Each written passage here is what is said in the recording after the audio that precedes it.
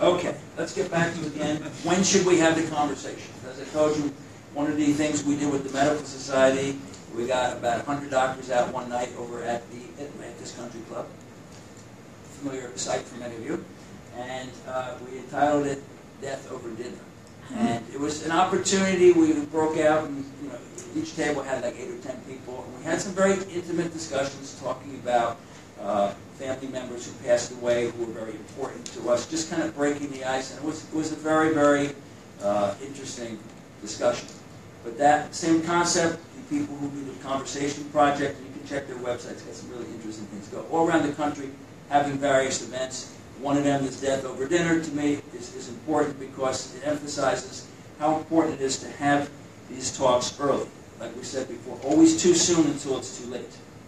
The kitchen table is much better than waiting for a crisis. It's you know, certainly best when you're not critically ill and there's not so many family dynamics and emotions uh, involved.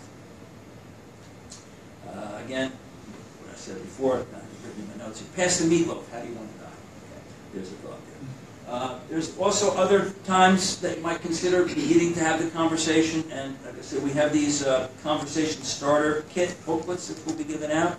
Uh, before a long trip, you can speak to your children at this time. You might mention this is an important gift. Kids always like to get gifts that we want to give you.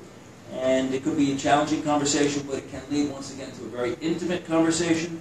And it gives you a time that you can discuss uh, not only end-of-life wishes, but what else is important in your life. Now, I'll mention in this book again, is a great book.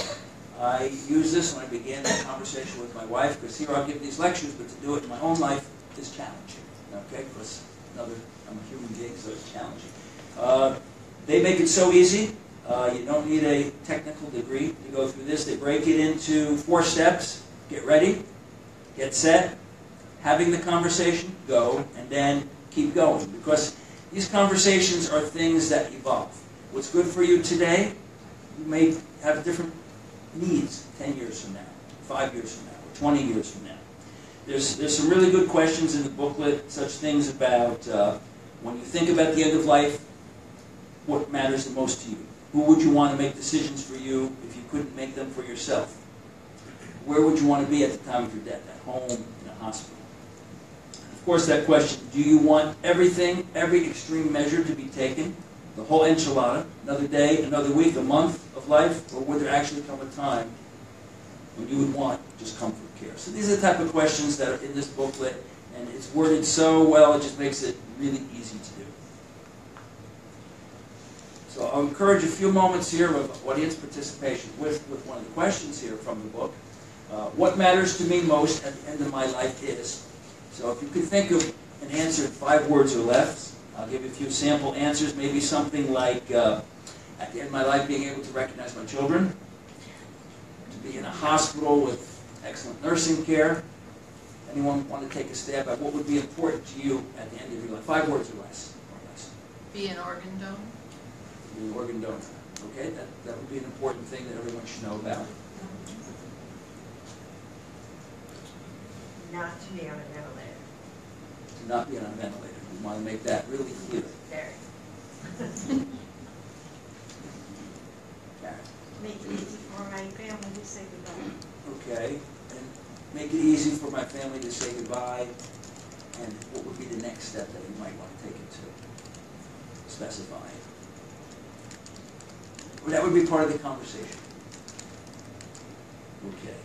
So, this is just begin to get your minds thinking, because it's, it's, it's a tricky thing to jump right in, particularly when we have 50, 60 people in the room to come out, but start thinking about these things here.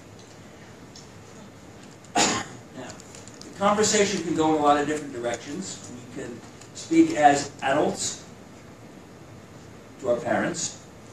We might present it in the context of the question, what would be most important to you at the end of your life so I can honor your wishes and I can have the burden of not knowing what you want lifted from me.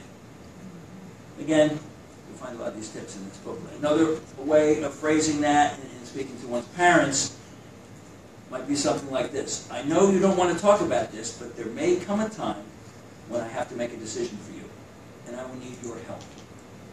put it that way, what parent would ever refuse a child a request for help? So it's all how you word these things, and again, with this conversation starter kit, it makes it pretty easy for you.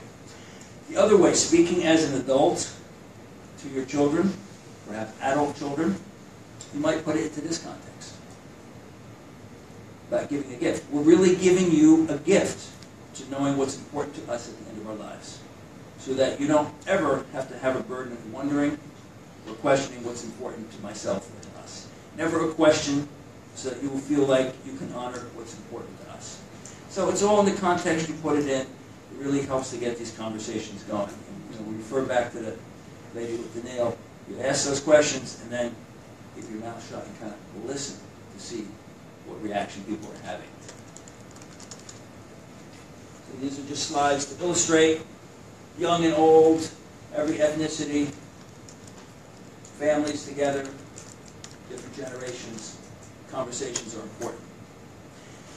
Another element that goes along with this, as we said, helping you to choose who should make those decisions for you if and when it comes to the point that you can't make those decisions. That's a really important thing to do because statistics show, particularly among people 65 and up, almost half of those individuals, when they're admitted to the hospital, are not in a state that they can make decisions for themselves. So it's really important to have what we call a healthcare proxy or health surrogate. In different states, they've got different legal nomenclature for this, but this is something that is very important